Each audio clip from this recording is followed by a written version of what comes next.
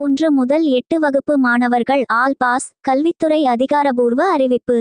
தமிழகத்தில் பத்தாம் வகுப்பு பொதுத் தேர்வுகள் நேற்றுடன் முடிவடைந்த நிலையில் ஒன்பதாம் வகுப்பு வரையிலான அனைத்து மாணவர்களுக்கும் ஆண்டு இறுதித் தேர்வுகள் அனைத்தும் ஏப்ரல் இருபத்தெட்டாம் தேதியுடன் முடிக்க திட்டமிட்டுள்ளது. ஆனால் புதுச்சேரி மாநிலத்தில் வெயிலின் தாக்கம் மற்றும் காவல் தேர்வு உள்ளிட்ட பல காரணங்களால் ஒன்று முதல் ஒன்பது வகுப்பு வரையிலான மாணவர்களுக்கு ஆண்டு இறுதித் தேர்வு முன்கூட்டியே நடத்த திட்டமிட்டது. இதன்படி கடந்த ஏப்ரல் பதினொன்றாம் தேதி முதல் தொடங்கிய ஆண்டு இறுதித் தேர்வுகள் ஏப்ரல் பத்தொன்பதாம் தேதியுடன் முடிவடைந்தது. இதையடுத்து நேற்று ஏப்ரல் இருபது முதல் புதுச்சேரி மாநிலத்தில் உள்ள அரசு மற்றும் அரசு உதவி பெறும் பள்ளிகளுக்கு கோடை விடுமுறை அளிக்கப்பட்டுள்ளது.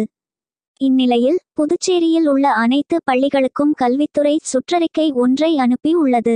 இந்த சுற்றறிக்கையில் ஒன்று முதல் எட்டாம் வகுப்பு வரை பயின்ற மாணவர்கள் அனைவரும் தேர்ச்சி பெற்றதாக அறிவிக்க வேண்டும். மேலும் ஒன்பதாம் வகுப்பு மாணவர்கள் இந்த கல்வி ஆண்டில் ஒட்டுமொத்தமாக முப்பத்தைந்து விழுக்காடு மதிப்பெண் பெற்றிருந்தால் மட்டுமே தேர்ச்சி அளிக்க வேண்டும் என அறிவித்துள்ளது.